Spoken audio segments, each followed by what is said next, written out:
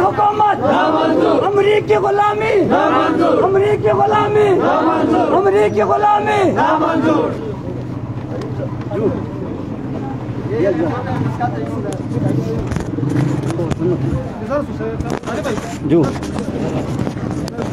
ٹھیک ہے ٹھیک ہے ٹھیک ہے ٹھیک ہے۔ بسم اللہ الرحمن الرحیم۔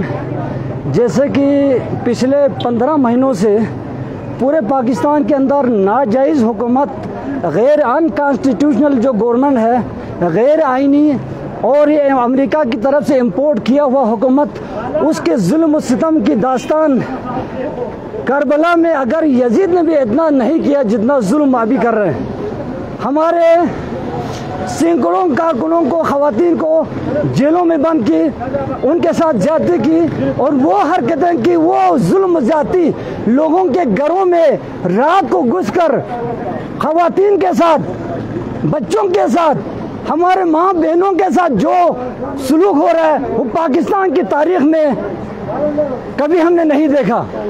لوگوں نے ضیاء الحق کا دور دیکھا ہے، مشرف کا دور دیکھا لیکن اس دور میں جو پھستائیت جو دہشت گردی اس دور میں ہوا، اس کا مثال دینا مشکل ہے۔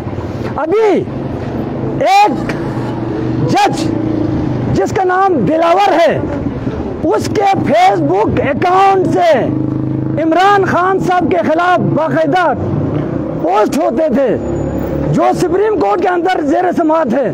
اور آج جج دلاور نام کے ایک جج نے پاکستان کے، اس نے ڈیفنس سنے بغیر خان صاحب کا موقف کسی بھی دنیا کی یزید کی عدالت میں بھی اگر جاتا ہے، تو اس وقت امام زین العابدین سے بھی کہا گیا کہ آپ جو بتانا چاہتے بتاؤ۔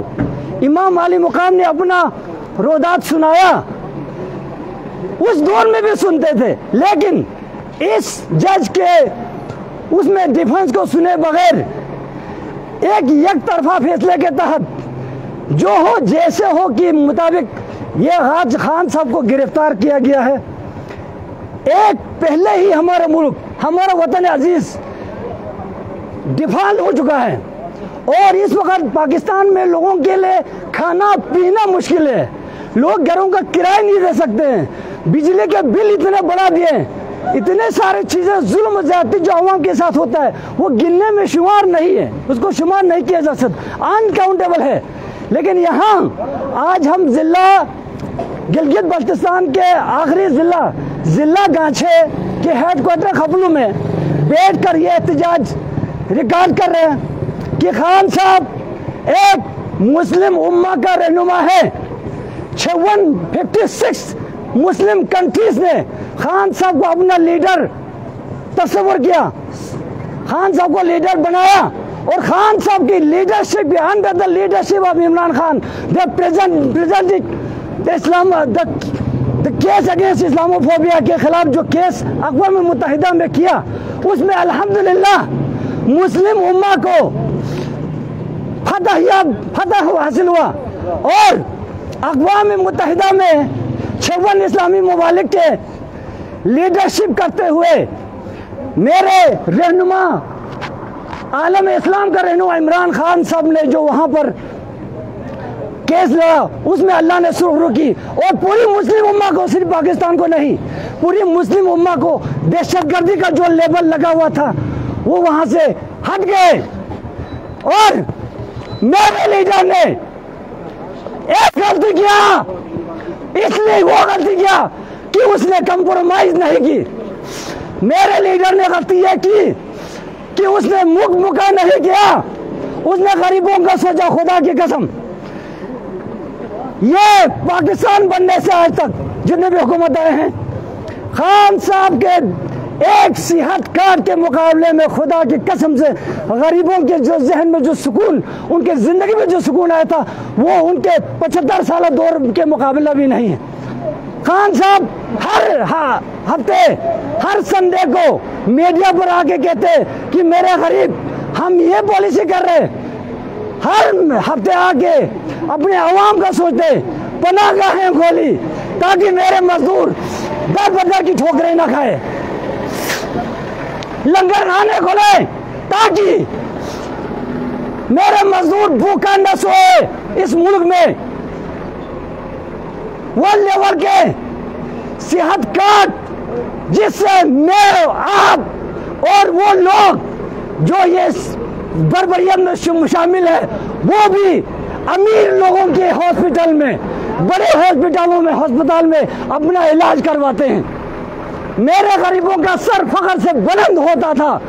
جب وہ دیکھتے ہیں کہ میرے پاس خان کا صحت کارڈ ہے۔ اس صحت کارڈ کو پنجاب میں، پختونخوا میں بند کیا گیا۔ اب پورے پاکستان میں بھی یہ بند ہو جائے گا۔ نہ صرف یہ باقی میرے ملک کا مستقبل اس وقت داؤ پر ہے۔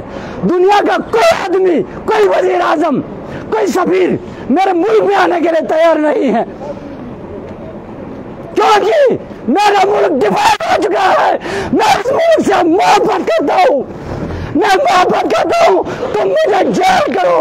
تم مجھے پھانسی میں لگو خدا کی قسم سے جو پروردگار کی قسم کھا کے کہتا ہوں، میں جو کچھ کر رہا ہوں، عہدے کے لیے نہیں کر رہا ہوں، میں اپنے ملک کے لیے سوچ کر کر رہا ہوں۔ اور ہم اس لیڈر کے پیچھے اگر کھڑے ہیں، خدا کی قسم، واللہ العالم، وہ پروردگار اگر مجھے موت دے، اگر میں یہ سمجھتا ہوں، میرے لیڈر کے پیچھے ہم اس لیے کھڑے ہیں تاکہ ہم مسلم امہ میں تاکہ ہم پاکستان کو ایک عظیم ملک بنانے کا سوچیں۔ پاکستان! پاکستان! پاکستان! پاکستان! پاکستان! میرا ملک پاکستان، دنیا کا کلائمیٹ چینج یہ کلائمیٹ چینج شاید پڑھے لکھے لوگوں کو پتا ہو۔ دنیا کے Pakistan was included in the ten most dangerous country that suffering from climate change climate change میں مبتلا تھے۔ خدا کے قسم اس ملک میں دس سال اتنے فلٹ آ رہے ہیں ابھی، اتنے جو کچھ آ رہے ہیں، یہ آفت نہیں ہے۔ ہر بندے کے تو خدا کی آفت ہے۔ بھائی آفت تو ہے، کیونکہ آپ کچھ نہیں کر رہے۔ ہیں تو میرے لیڈر نے اقوام متحدہ میں کھڑے ہو کر، اور اس سے پہلے پاکستان میں ٹریلین، بلین ٹری سونامی۔ اس کے بعد ٹریلین ٹری سونامی درخت لگائے۔ دس ارب درخت لگائے۔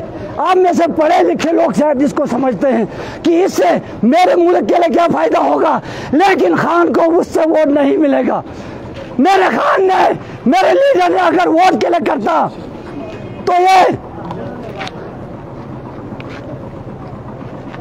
آج مک مکا کر کے آج کرپشن کے لوگوں کے ساتھ کچھ لوگ کچھ لو لے کر حکومت بناتے جنرل مشرف صاحب نے اس کا سپیچ، اس کے مرنے سے پہلے اس کے تقریر ہے کہ اس دور میں جنرل مشرف صاحب نے کہا کہ میں نے خان کو وزیر اعظم کی کرسیاں بھر کی۔ سات سال جنرل مشرف نے حکومت کی۔ لیکن اگر عمران خان لالچی ہوتا، اس کو وزیر اعظم بننے کا شوق ہوتا وہ آرام سے سات سال وزیر اعظم بیٹھ سکتے تھے، وہ بھی اپنی جوانی میں۔ آج اکہتر سال میرا لیڈر ملک چھوڑ کے جاتے وہ عیاشی کی زندگی پہلے گزار، وہ ایک شاہی خاندان کی زندگی گزار رہا تھا۔ آج دو دو ٹکے کے لوگوں کے ساتھ اگر منہ ماری ہوتا ہے، اس گولیاں اگر کھائی ہے میرے لیڈر نے، اگر اتنا کچھ برداشت کر رہے تو خدا کی قسم عوام کے لیے ہے۔ گولیاں مارا ہیلی کاپٹر خراب کی۔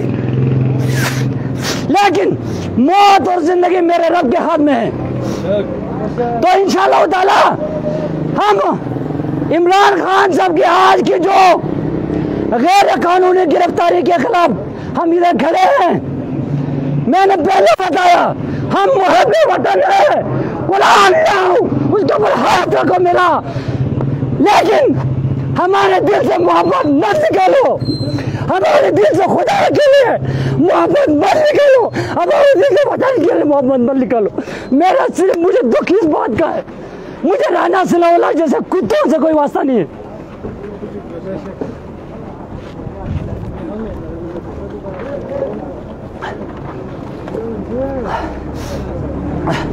ہمیں دو تکے کے ایک ساتھ دار سے کوئی واسطہ نہیں ہے۔ واسطہ ہے تو پاکستان کے نائنٹی پرسن عوام اپنے ملک کا سوچتا ہے۔ سروے دیکھو۔ انٹرنیشنل گیلپ سروے پڑھو۔ انٹرنیشنل آج تک جتنے بھی اداروں نے سروے کیا ninety percent people are stand Imran Khan today آج عمران خان صاحب کے خط ساتھ کھڑے اور جمال بھی موقع سن لو۔ میں اس بات کے ساتھ اختتام کرنا چاہتا ہوں۔ ہمارے، ہمیں تکلیف مت دے دو خدا کے لیے۔ ہمیں تکلیف مت دے دو۔ ہم اپنے ملک کے لیے سہنے والے ہیں۔ آج ہم لیڈر کے پیچھے کھڑے ہیں۔ تو خدا کی قسم سے ہم اپنے ملک کے لیے بہتری کے لیے کھڑے ہیں۔ تاکہ میرا وطن دنیا کا ایک عظیم قوم قوم بنے، ایک عظیم ملک بنے۔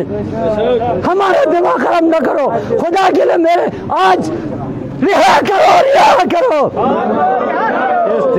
رہا کرو رہا کرو۔ رہا کرو رہا کرو۔ تو اسی کے ساتھ میں مطالبہ کرتا ہوں کہ ان تمام حلقوں سے خدا کے لیے اس کو جلد از جلد ہمارے خان کو رہا کیا جائے۔ ہمارے دلوں کو دکھ مت دے دو۔ ہمیں تکلیف بار بار مت پہنچاؤ۔ ہمارے خان کو رہا کر دو۔ اور الیکشن کرا دو۔ الیکشن میں اگر تم جیت گئے تو ہم سلوٹ مار کے تجھے تسلیم کریں گے۔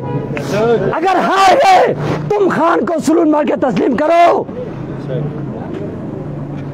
ظلم کے ثابت ہے۔ ظلم کے ثابت ہے۔ ظلم کے ثابت ہے۔ تو اسی کے ساتھ۔ آج ہم نے یہ پلان چیز کیا۔ ہم نے یہاں بے ایک پور امن، میں دوبارہ بتا رہا ہوں، ایک پور امن احتجاج۔ یہاں گلگت بلتستان کے آخری ضلع ضلع گانچھے سب سے بڑا ضلع ہے، اس کے ہیڈ کوارٹر میں ریکارڈ کی ہے۔ تو ہمارا مطالبہ ہے کہ خان کو جلد از جلد رہا کیا جائے۔ بہت بہت شکریہ۔